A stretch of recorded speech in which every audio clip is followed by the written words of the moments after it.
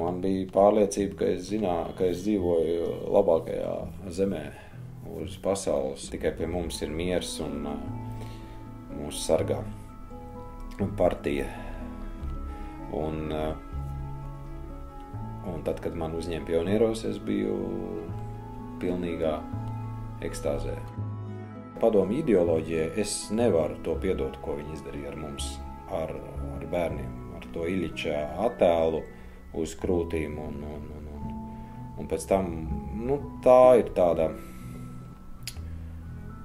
nu, kāda tik prasta un klāja manipulācija, uh, kuru tu jau nu, kā bērns tai notici, kā Ziemassvētku vecītim.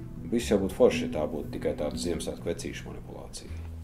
Man šķiet, tāpēc arī tās briesmas ir, ka tie rietumnieki naivie, viņi to nesaprot, viņi nesaprot, kur ir tā, kur ir, kur sākas tā manipulācija, kur sākas tā čakarēšana cilvēku. O, mēs zinām, mēs to zinām. Mēs zinām gan šito, to demokrātiju, to uh, rietumu, uh, kaut kādu to dzīves, uh, dzīves ziņu. Un tāpat laikā mēs arī esam pieredzējuši un zinām to padomju vati